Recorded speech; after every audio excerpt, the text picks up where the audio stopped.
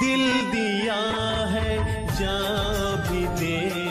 सभी देशवासियों को तनवीर खान संवाददाता यूपी खबर, उन्नाव की तरफ़ से स्वतंत्रता दिवस की हार्दिक शुभकामनाएँ।